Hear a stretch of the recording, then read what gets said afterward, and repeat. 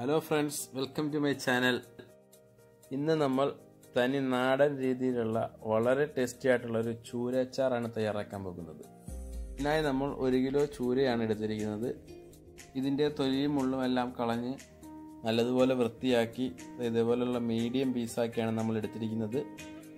ഇനി നമുക്കിത് മാഗ്നറ്റ് ചെയ്യാൻ വേണ്ടിയുള്ള കൂട്ട് തയ്യാറാക്കാം.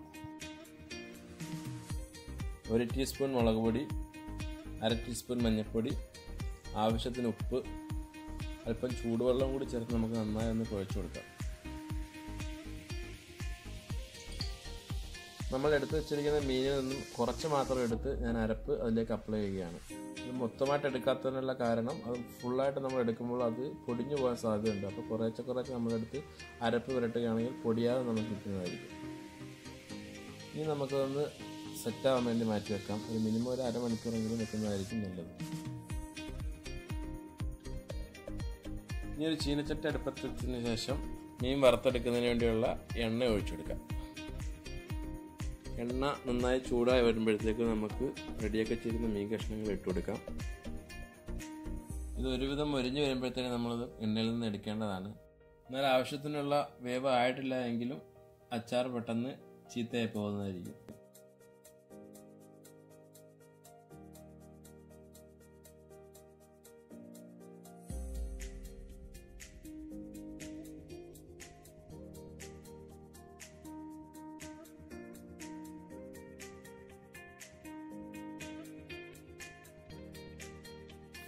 ഇതുപോലെ ആവശ്യത്തിന് മുരിഞ്ഞു വന്നിട്ടുണ്ട്. നമുക്ക് ഇത് എണ്ണയിൽ നിന്ന് കോരിയെടുക്കാം.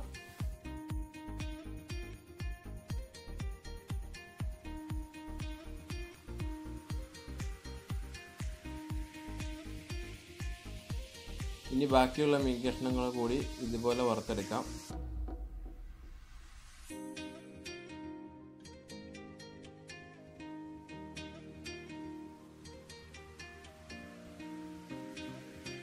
ഇതും ആവശ്യത്തിന് മുരിഞ്ഞ് വന്നിട്ടുണ്ട്. ഇത് നമുക്ക് എണ്ണയിൽ നിന്ന് കോരാം. ഇത് ഒരുപാട് മുരിഞ്ഞ് പോകാനും പാടില്ല. അങ്ങനെയെങ്കിൽ നമുക്ക് അച്ചാറിന്റെ ആ ഒരു ടേസ്റ്റ് കിട്ടുകയില്ല. നമ്മളങ്ങനെ മീൻ മുഴുവനായി വറുത്തെടുത്തിട്ടുണ്ട്.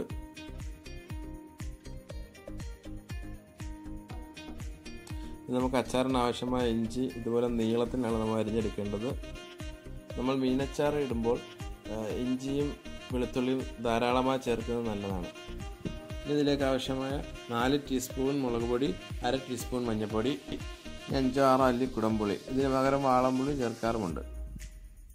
നമ്മൾ മീൻ പൊരിച്ചെടുത്ത എണ്ണയിലേക്ക് തന്നെ അര ടീസ്പൂൺ കടുക് ഇടുകയാണ്. അതിലേക്ക് തന്നെ നമ്മൾ ഇഞ്ചിയും ഇട്ട് കൊടുക്കുകയാണ്. നല്ലതായി നമുക്കൊന്ന് ഇളക്കി കൊടുക്കാം. അതിലേക്ക് നമ്മൾ വെളുത്തുള്ളി പച്ചമുളകും ആഡ് ചെയ്ത് കൊടുക്കാം. ഇത് നന്നായി ഒന്ന് മുരിഞ്ഞു വരുന്നത് വരെ നമുക്ക് ഒന്ന് ഇളക്കി കൊടുക്കാം.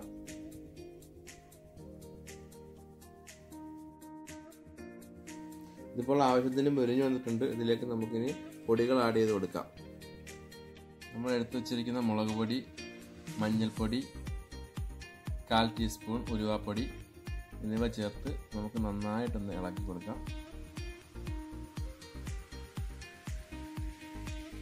പൊടികളുടെ പച്ചമണം മാറുന്നിടം വരെ നമുക്ക് നന്നായി ഒന്ന് വഴറ്റി കൊടുക്കാം.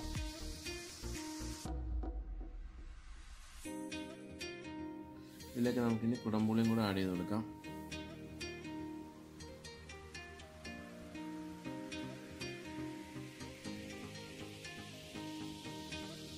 ഇതിലേക്ക് നമുക്ക് അല്പം വിനാഗിരി ചേർത്ത് കൊടുക്കാം.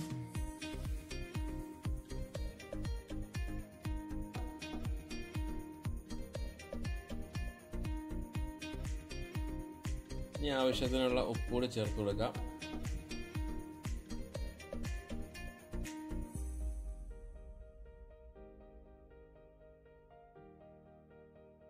ഇനി നമുക്കിതിലേക്ക് നമ്മൾ വറുത്ത് വെച്ചിരിക്കുന്ന മീൻ കഷ്ണങ്ങളിട്ട് നന്നായിട്ട് ഇളക്കി കൊടുക്കാം.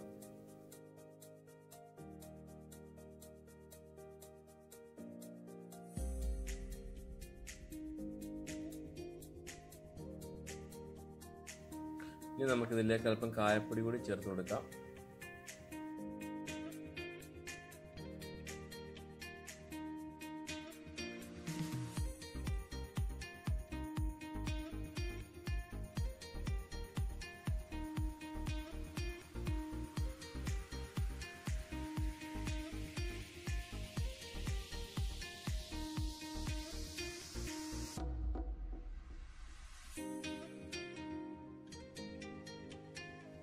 ഇപ്പോൾ നമ്മുടെ വളരെ ടേസ്റ്റി ആയിട്ടുള്ള ചൂര അച്ചാർ റെഡി ആയിരിക്കുകയാണ്.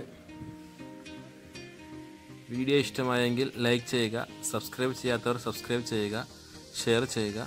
Thank for watching my channel അടുത്തൊരു സൂപ്പർ വീഡിയോയുമായി വീണ്ടും കാണുന്നവരെ ബൈ